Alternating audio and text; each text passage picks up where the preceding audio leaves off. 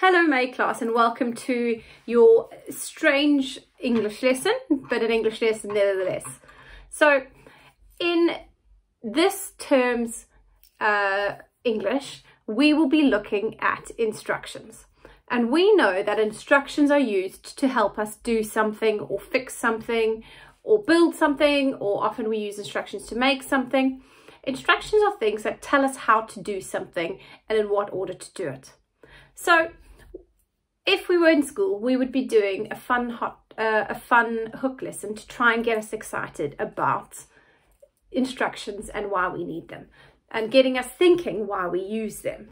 So it's a little bit strange for us to be doing it over the videos, but we are going to try. So I thought about all the things that we do at home that we need to follow instructions on how to do it. And it could be making our beds it could be brushing our teeth.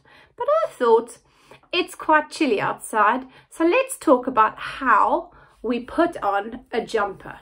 So I've got my jumper here, right? Brand new jumper that I got for Christmas. It's very exciting. I'm very excited. It's got a hood. It's really nice and warm. So I'm going to put it on and we're going to see if I do it correctly and if I've done it in the right order. So the first thing I'm going to do is I'm going to put my arm in it and I'm going to put my head in it. And I'm a little bit, I don't really know what's happening. Oh no.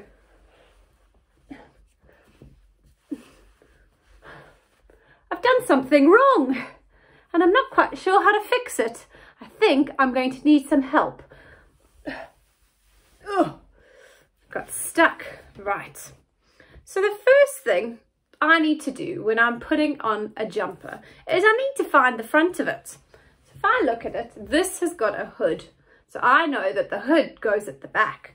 So it makes this the front of my, my jumper. So the first thing I need to do is get it over my head correctly. So I'm going to scrunch it up and then I'm going to make sure that my head, I'm going to put my head through the head hole. This is already looking much better. Then I need to spread it out. Then my left arm goes through the left arm of the jumper. I'm going to put it in, make sure my arm comes out the other side. And my right arm is going to go through the right arm of my jumper. And then I'm going to pull it down. Make sure my hair's out.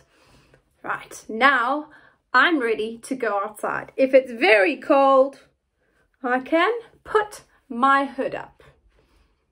Okay, now to put that on, I had to follow some instructions on how to do it. So first, I had to find the front of my jumper.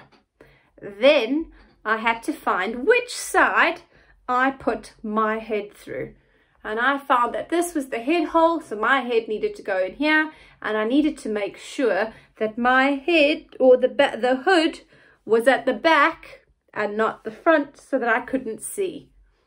So then I pulled it on and I have to pull it down the back. I put my left arm for you it's right but for me it's my left arm through the left armhole and my right arm through the right armhole and then I was able to pull my jumper down. Now that may seem quite simple to you, but you can see that if I hadn't followed the instructions of how to put my hood on or put my jumper on, I got very tangled up. So it's important we can see to follow instructions in chronological order, which means making sure we do one thing first, then the next thing, then the next thing until we finally have completed our task. Now, how can you make this fun for you at home, you say? Well, I want you to have a think. What things do you do at home that you need to follow instructions for?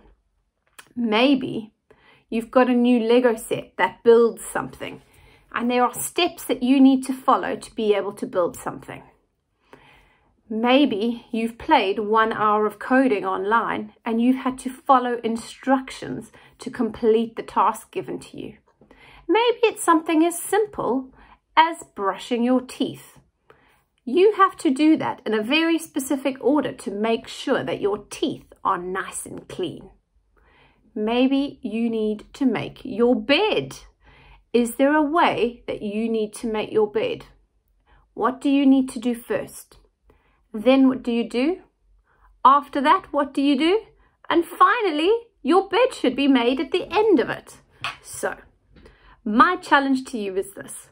I want you to find something that you can do at home that requires you to follow instructions step by step to finish the task.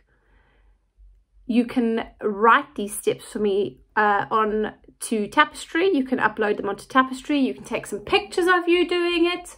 You can make a video of you doing it. I would like you to show me how you do something at home, whether it be brushing your teeth, making your beds, making a sandwich. Maybe you want to make a jam sandwich. Show me how you use instructions at home to finish a task given to you. Don't forget to share it on Tapestry. We are going to be looking at it. We will have some time to talk through the instructions and talk through the task that we've given in our um, live lesson tomorrow. We'll talk through it and what you've done. So please, please, please do share with us what you're doing. Maybe you even want to keep track of the instructions that I'm going to give you in your computer lesson later on how to log into Teams. So keep track of what you do and share it with us. We'd love to see it.